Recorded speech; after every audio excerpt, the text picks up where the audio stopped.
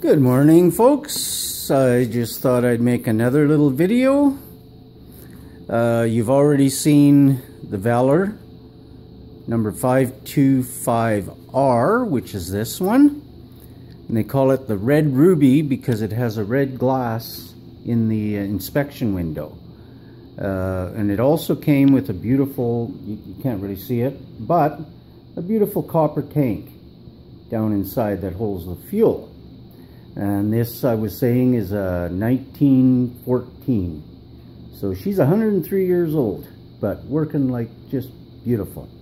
It, it took a lot of work to clean it out, clean the tanks, uh, get new wicks, um, just everything, but it, it turned out great. Now, this is a 1915 Perfection model, a different brand, but virtually identical. And this one was made in Canada. Uh, if I can get in a little bit closer, you can see right on the side it says Canada. There we are, Canada.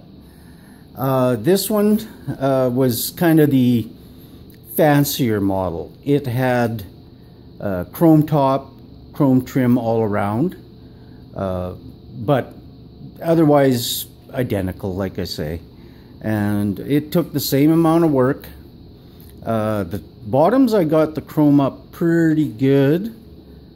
When I go around over here to the top, you can see the the top isn't bad, but it was pretty pretty damaged from 40 years, 50 years sitting in a barn.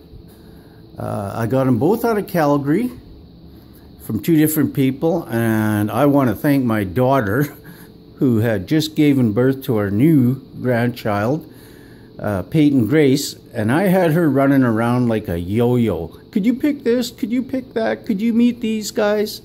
She was absolutely awesome. So thank you, uh, Katie and Peyton, who went along for the ride.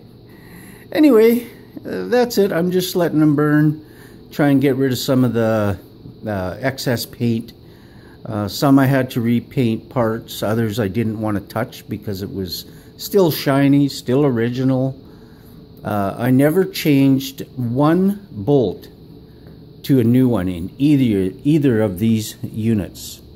Everything I did was absolutely original. So it's pretty cool. You know, you got to think, hey, 100 and, 103 years later and just solid as a rock, these old girls. I just thought it'd be cool to try it, play around, and uh, anyway, there you go. Bye bye.